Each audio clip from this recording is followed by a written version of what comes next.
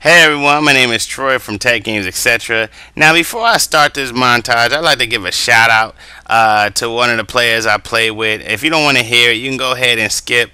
Uh, just read the text on the screen and skip to the part where the montage start. But I'd like to give a shout out to my man Joe Sputz 31. This man is cool. He's down to earth. Uh, I met him uh, through YouTube. We play a lot, but watching this montage, how we just save each other's lives, we be joking around, things like that. But when it comes down to this game, yo, we take this shit seriously. So let's get started, shall we? Let's go. Okay, so I start off with a question: Is this FAMAS overpowered?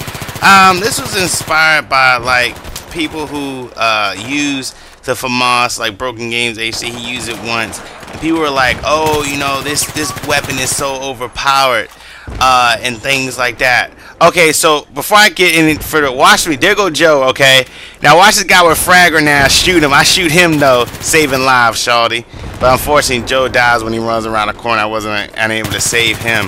But anyway, um, the the they like people keep saying like this gun is overpowered, but it's it's funny how when you beast with something, they be like, oh, it's overpowered. You know what's overpowered in this game? Like I said a thousand times, that fucking uh, tactical flashlight. You know, that's overpowered. That goes against the laws of common sense because you're going to see me kill people who use this uh, shit in broad daylight and it's still bright as I don't know what. But like uh, this game, uh, this gun you know, it has a fast fire rate. You know, when I used it the first time, it is powerful than the AEK 971, uh, which I did notice. Um, but overall, this game, uh, this gun, you know, has a huge, um, like, uh, recoil. Like, cause I use the heavy barrel for longer, uh, so my bullets can travel longer. But you have to control this thing. Like, I still, I, like, if I was in a tournament pretty much. I was still you.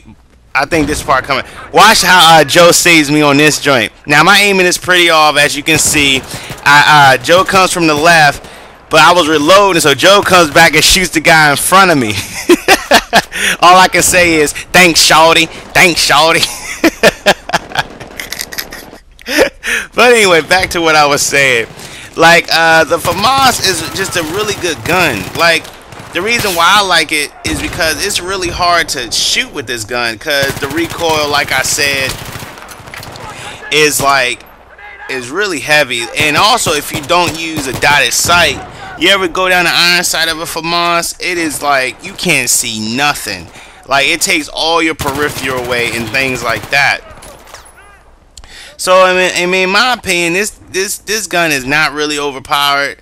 I don't um, really see what why why people say you know this gun is overpowered. Um, it shoots fast, like I said, but it's just like if I was in a tournament, I still wouldn't use the FAMAS. I still use the AK971 because it just has more control.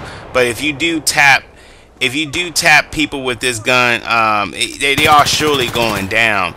So I'm just gonna let this uh, this montage play out. I really have nothing to say, but that, that was just my opinion on the FAMAS itself.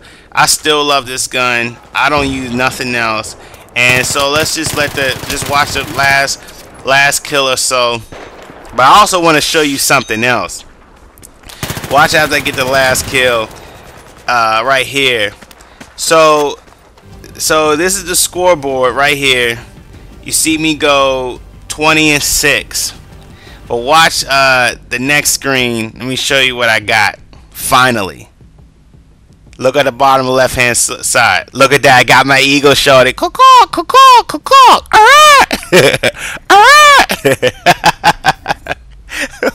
well, there you go. There you have it. Uh, uh, if you like what you saw today, please like the video. It really helps out a lot. And there go my contact information. Uh, see you later. Thanks a lot.